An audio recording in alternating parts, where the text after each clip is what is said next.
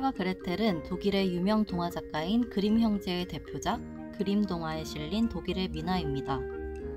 그림 형제는 독일의 유명한 문헌학자이자 언어학자이며 형 야코프 그림이 주로 신화, 전설, 민화 등의 이야기를 수집하고 이를 동생 비렐름 그림이 글로 꾸며서 그림 동화를 만들었습니다. 그림 동화는 유명한 고전 동화 라푼젤, 백설공주, 개구리 왕자, 늑대와 일곱 마리 아기 염소, 헨젤과 그레텔 등이 수록되어 있어 전 세계 어린이들의 사랑을 받고 있습니다. 헨젤과 그레텔의 등장인물은 오빠 헨젤과 동생 그레텔, 가난한 나무꾼인 아빠와 새엄마, 그리고 두 털보 마녀입니다.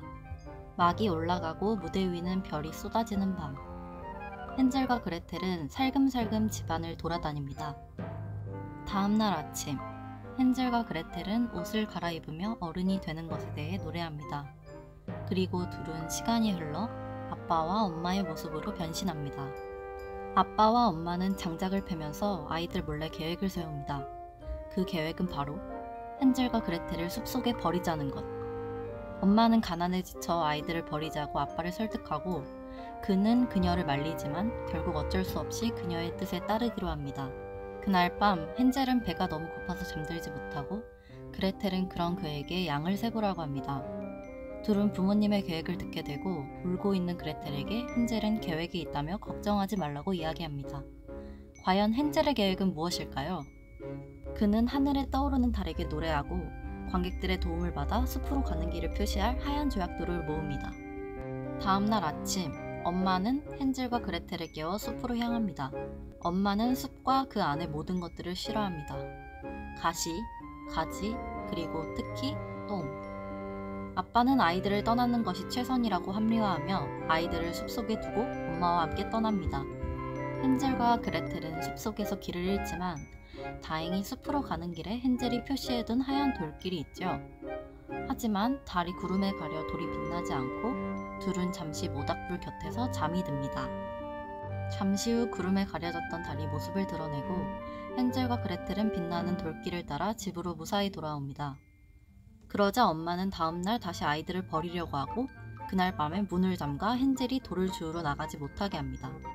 헨젤은 돌을 주우러 갈 수 없다는 것이 걱정되어 잠들지 못합니다.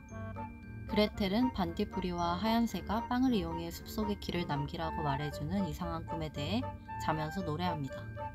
헨젤은 전날 엄마가 준 빵을 먹지 않고 그 빵가루로 길을 남깁니다. 하지만 하얀 새가 나타나 빵가루를 모두 먹어버리고 결국 그들은 집으로 돌아가지 못합니다. 숲속에서 헤매던 둘은 놀라운 것을 발견합니다.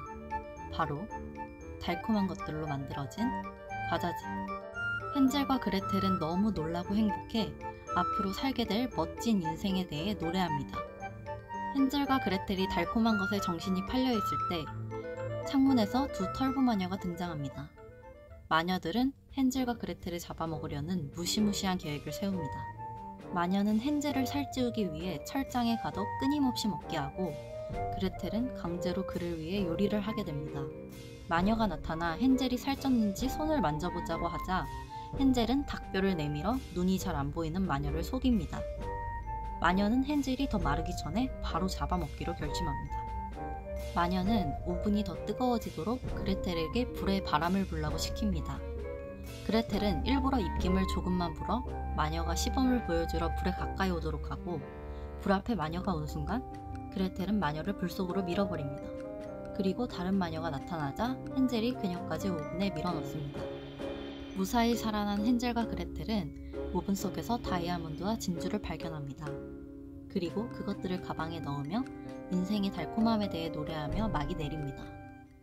영국 프리미엄 극단 링고 시어터만의 감성으로 재탄생된 뮤지컬 헨젤과 그레텔이 오는 7월 7일부터 8월 10일까지 KTNG 상상마당 대치아트홀에서 공연됩니다.